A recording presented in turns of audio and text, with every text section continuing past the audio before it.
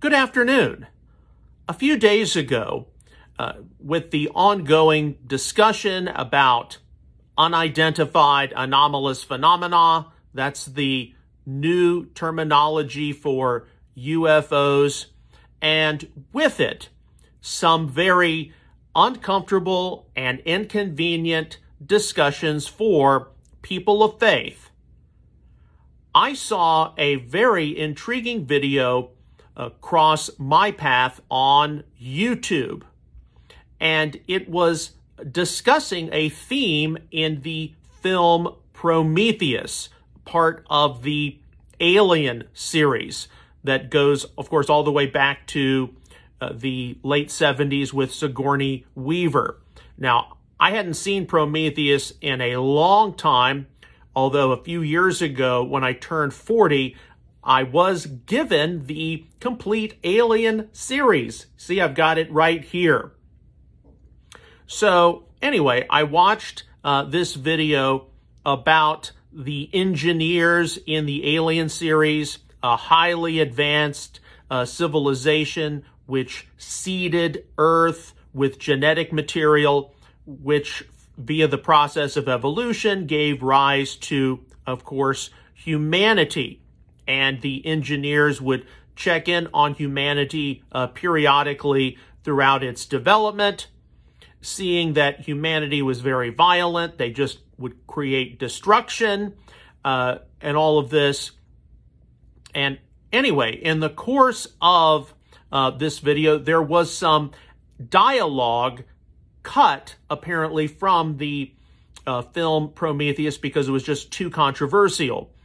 And in the film Prometheus, they go to this planet, they find one of the engineers who's been uh, in some kind of hibernation or sleep for thousands of years, and he tells the android David, again, this is in material that's been cut from the film, we took one of your own around 2,000 years ago and we taught him what it meant to live in peace and harmony, and we sent him back, and he was killed by you.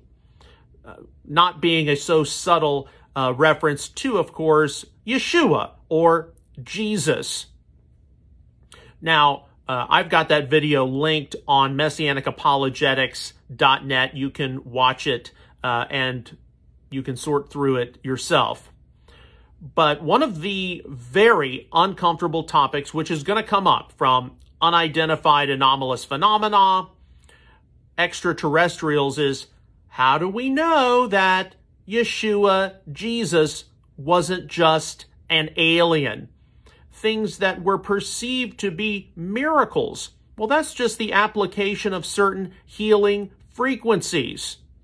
This whole idea of his death and resurrection. How do we know he just didn't go into some kind of hibernation? Uh, and all of these themes have been uh, circulating in a great deal of our popular science fiction. Now, I'm just putting this out there right now to show you uh, how complicated things are going to get. And indeed, uh, if you are a science fiction buff, you probably are already aware of this.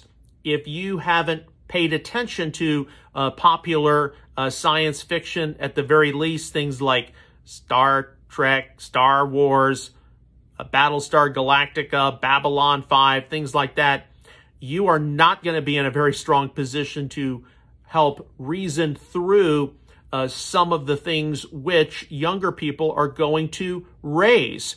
And indeed, I would stress, as disturbing as this is and as upsetting as the question, well, how do we know Jesus wasn't just an alien?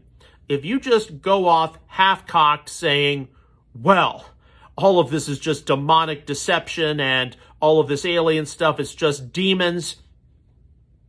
Because of how advanced some of these questions are and complicated some of these questions are, if you do that, many younger people will just dismiss you as being small-minded, close-minded, and even primitive.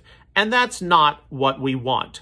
We want, as Bible believers, to have reasoned answers, and that requires us to sort through some of the details ourselves. As we all know, this whole issue of unidentified anomalous phenomenon is very new. It's ongoing.